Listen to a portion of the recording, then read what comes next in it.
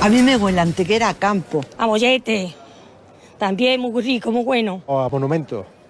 Monumentos, porque hay muchos, es un patrimonio muy importante aquí. Los patios. de las casas preciosos. Precioso. ¿A pan recién hecho? También. Hoy el mollete que me he comido ha sido de maravilla, con su rapa. Pero si algo huele a antequera en esta época, eso es sin duda a mantecao recién hecho.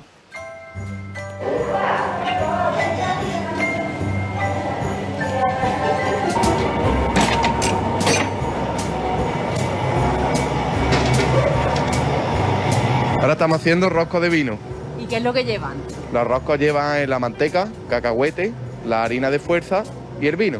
El hombre que había se jubiló y me he encargado yo de coger el puesto de él. Yo soy la tercera generación, estuvo mi abuela, después mi madre y ahora estoy yo. Virtudes, ¿y a usted le ha tocado ahora hacer? Doble de... Trabajando aquí codo con codo con su hijo. Sí, ¿Cuántos años lleva usted aquí? pues yo llevo treinta y tantos, cerca de cuarenta, desde que salí del colegio.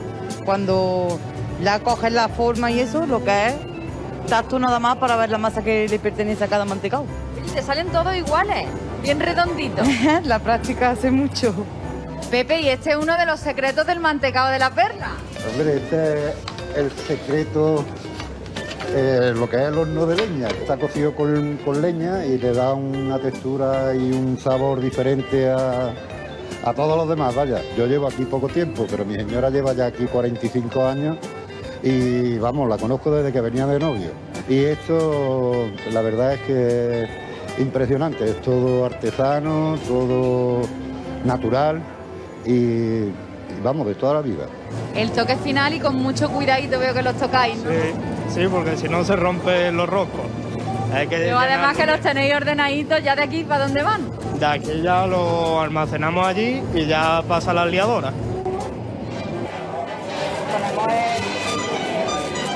La inició mi abuelo, siguieron mis tías y mi padre y luego he continuado yo.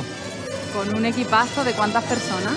Pues unos 30 aproximadamente, 31, 32. Hacer artesanal es una cosa que requiere mucha coordinación entre todos y es un poquito más complicado que cuando es un negocio más industrializado. Eh, nuestros clientes lo- nos llaman o, o cuando vienen y están aquí contentos a llevarse el producto, nos recompensan solo con ello.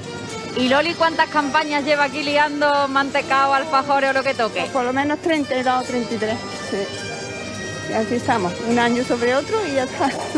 Y me encanta ver que cada una tiene su técnica. Sí. Cada una, una día de una manera. Loli, los famosos dobles de canela de la perla. Los famosos, Que le gustan a todo el mundo. a todo el mundo. Este es un mantecado que no puede faltar. ¿Cuál es vuestra mayor recompensa? En los clientes que vengan todos los años saludándote y vienen todos los años que parece ya que somos familia. ¿De dónde vienen a comprar? Pues de muchos sitios, de muchísimos sitios. Ellos vienen de Madrid, hay otros de Barcelona, de muchos, de España, casi de todo tipo de, de todos sitios. Y de Antequera. Y de Antequera sobre todo. Venimos a comprar siempre, aunque vi- nosotros vivimos en Madrid, pero siempre pasamos por aquí antes y nos llevamos los mantecados. El preferido mío es de toda la vida, mantecao doble de canela, punto y final.